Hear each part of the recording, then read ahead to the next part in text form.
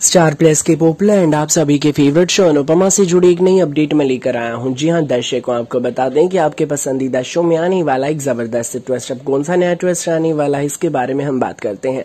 जी हाँ, दर्शकों रिपोर्ट्स के मुताबिक आने वाले एपिसोड में आप देखेंगे की अनिरुद्ध रख लेगा। मंडप में पहुंचकर काव्या की गर्दन पर चाकू और कहेगा सबके सामने कि अगर ये काव्या मेरी नहीं हो सकी तो किसी की भी नहीं होने दूँगा। जी हाँ दर्शकों, अनिरुद्ध का ये रूप देखकर हर कोई हैरान रह जाएगा। अब ये देखना दिलचस्प होगा कि कैसे बचाएगा वनराज काव्या को अनिरुद्ध की इस माया जाल से। फ़िलहाल के लिए बस इतना ही। For more updates please subscribe serial fever and don't forget to click on the bell icon thank you